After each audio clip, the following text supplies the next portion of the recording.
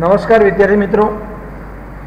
ગઈ વખત આપણે ચેપ્ટર નંબર પાંચનો સવાલ નંબર એકમાં આપણે ભણ્યા હતા ખર્ચના ખ્યાલો વિદ્યાર્થી મિત્રો.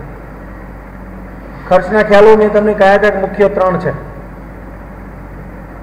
એમાં આપણે ગઈકાલે વૈકલ્પિક ખર્ચ વિશેની વ્યાખ્યા પણ આપણે ભણ્યા હતા. અને એને માપવા માટેની મુશ્કેલીઓ પણ આપણે ભણ્યા હતા. હવે બીજા નંબરના ખર્ચની વાત કરીએ તો બીજા નંબર છે વૈકલ્પિક ખર્ચ. વિદ્યાર્થી મિત્રો, તમે નોર્મલી સમજી શકો છો કે વૈકલ્પિકનો અર્થ થાય વિકલ્પ. અને આ ખ્યાલ સૌપ્રથમ ઓસ્ટ્રિયન અર્થશાસ્ત્રી રજૂ કર્યો ફરી વખત જો વૈકલ્પિક ખર્ચનો સૌપ્રથમ ખ્યાલ ઓસ્ટ્રિયન સમજો ઓસ્ટ્રેલિયન નહીં ઓસ્ટ્રિયન અર્થશાસ્ત્રી રજૂ કર્યો હતો પરંતુ આ ખર્ચનો વ્યવસ્થિત રીતે સ્વરૂપમાં રજૂ કરવાનો યશ એ પ્રોફેસર માર્શલને જાય છે. આપણે આગળ ભણી ગયા છે એ પ્રમાણે ઉત્પાદનના સાધનો ચાર છે અને આ ચારે ચાર સાધનો એ વૈકલ્પિક ઉપયોગ ધરાવે છે. અને આ વૈકલ્પિક ઉપયોગ એ એની હકીકતના આધારે એનો વૈકલ્પિક ખર્ચ સમજી શકાય છે. તેથી વૈકલ્પિક ઉપયોગ ધરાવતા હોવાના કારણે આ સાધનો એક કરતાં વધારે ઉપયોગો ધરાવે છે.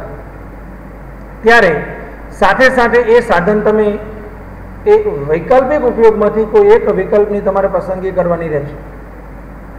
કેમ કે જ્યારે તમે વન ટાઈમે એ સાધનનો ઉપયોગ કરશો, તેની સાથે સાથે તમે અન્ય બીજા ઉપયોગમાં એને વાપરી શકતા નથી. ધારો કે એક જમીનનો ટુકડો છે, સમજો તમે. તેના ઉપયોગો અનેક છે. માનો કે એ જમીનના ટુકડાની અંદર તમે મંદિર બનાવો, સ્કૂલ બનાવો, કોઈ પણ કારખાનું સ્થાપો, દુકાન બનાવો, ખેતી કરો, બગીચો બનાવો. પરંતુ આ બધા એના વૈકલ્પિક ઉપયોગો છે. વિદ્યાર્થી મિત્રો, એમાંથી માનો કે એ ટુકડા ઉપર તમે ખેતી કરો છો. અને એની અંદર ઘઉં વાવવાનું પસંદ કરો છો. જ્યારે તમે ઘઉં વાવો છો, ત્યારે એ જ જમીનના ટુકડા ઉપર તમે બીજો પાક વાવી શકતા નથી. એક બીજો પણ એક્ઝામ્પલ આપો કે એક શ્રમિક એક મિલમાં કામ કરે, તો એ જ શ્રમિક એ જ સમયે બીજી મિલ અથવા ઉદ્યોગમાં કામ કરી શકતો નથી. માટે આમ સાધનો વૈકલ્પિક વૈકલ્પિક ઉપયોગ ધરાવે છે. એના પછી એક એક્ઝામ્પલના માધ્યમથી એની વધારે સમજૂતી આપણે મેળવીએ કે જ્યારે ઉત્પાદનના સાધનો કોઈ કાર્યમાં રોકવામાં આવે ત્યારે તેના તે સાધનનો બીજો શ્રેષ્ઠ વિકલ્પ જતો કરવો પડે. તેને વૈકલ્પિક ખર્ચ તરીકે ઓળખવામાં આવે છે.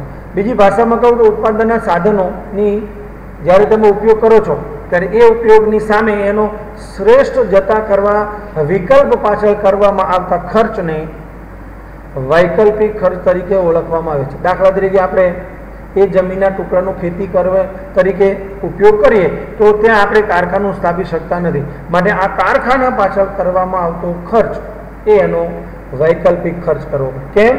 કે આમાં શ્રેષ્ઠ વિકલ્પ તમારે જતો કરવો પડે છે. અને એની પાછળ કરવામાં આવતો ખર્ચ જેને વૈકલ્પિક ખર્ચ તરીકે ઓળખવામાં આવે છે. આ બાબત એક ઉદાહરણની મદદથી આપણે સમજવાની છે. માનો કે જમીનનો એક ટુકડો છે, જેની અંદર ઘઉં અને ડાંગર માટે ઉપયોગ થઈ શકે એમ છે. જમીન ઉપર ઘઉં ઉત્પાદન કરવામાં આવે તો બે લાખ મળી શકે એમ છે અને જો તે જમીન ઉપર ડાંગર વાવવામાં આવે તો સાડા ત્રણ લાખ મળી શકે એમ છે. ખેડૂતોનું વર્તન તર્કબદ્ધ છે. તર્કબદ્ધ એટલે શું? ખેડૂત હંમેશા ફાયદાનો વિચારે છે. તેથી લાભની દ્રષ્ટિએ વિચાર ખેડૂત ઘઉંનું ઉત્પાદન જતું કરશે. જેમાં વધારે રકમ તે ડાંગરનું ઉત્પાદન કરશે અને સાડા ત્રણ લાખ મેળવશે. આમ સાડા ત્રણ લાખ રૂપિયા ડાંગર માટે ખેડૂતો બે લાખના ઘઉંનું ઉત્પાદન જતું કરે છે. આ જતું કરેલું બે લાખના ઘઉંનું ઉત્પાદન એ સાડા ત્રણ લાખના ડાંગરનું વૈકલ્પિક ખર્ચ બને છે. આ એની વૈકલ્પિક ખર્ચ એટલે કે એની સમજૂતી આપણે મેળવી, એના પછી વૈકલ્પિક ખર્ચના માપનની મુશ્કેલીઓ. છતાં આટલી સમજૂતી ડિટેલ હોવા છતાં એની કેટલીક મુશ્કેલીઓ છે.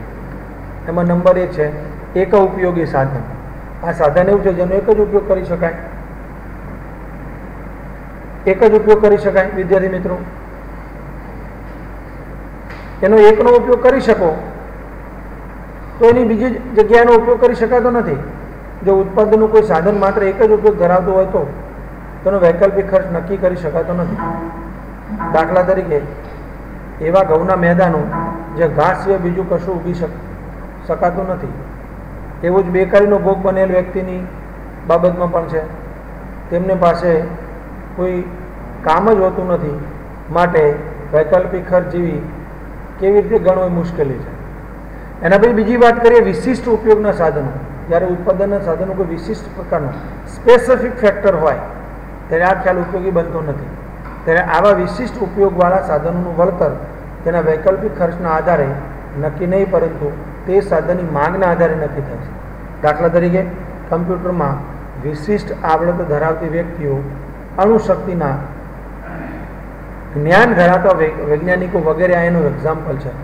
વિદ્યાર્થી મિત્રો, બસ આજે આપણે આટલું ભણવાનું છે. બાકીનું નેક્સ્ટ લેક્ચરમાં ઘરે બેસીને તૈયાર કરશો. એવી અપેક્ષા સાથે આજનો વીડિયો આપણે સ્ટોપ કરીએ છીએ. Thank you very much